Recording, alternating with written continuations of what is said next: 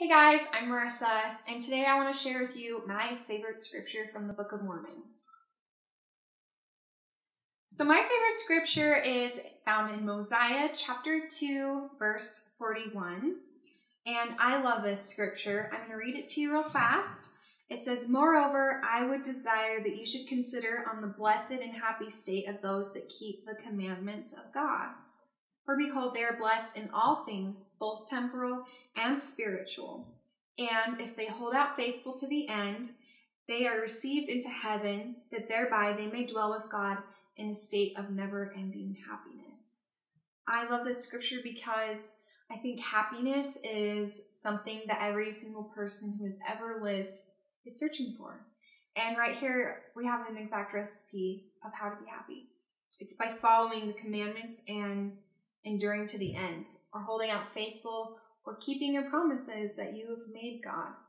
So, just to demonstrate a little story that um, I like about this. So, Gordon B. Hinckley, um, in one of his talks, he, shall, he, sh- he shared this story.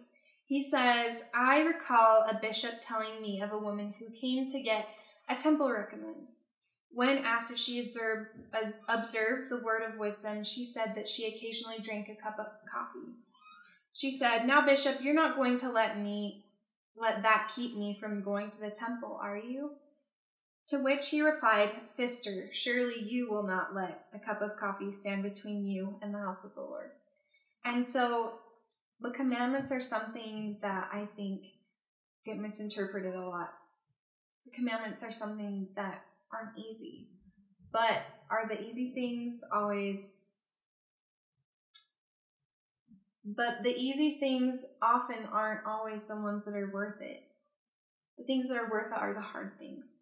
And I really do know that keeping the commandments makes us happy. I've had times where I keep the commandments and when I don't. And I notice a really big difference in my life when I do keep the commandments. I'm so much happier. So I love that scripture because it really teaches me that if I want to be truly happy and if I want the kind of happiness that lasts, I know exactly what I need to do. Just to follow the commandments and do what He's asked me.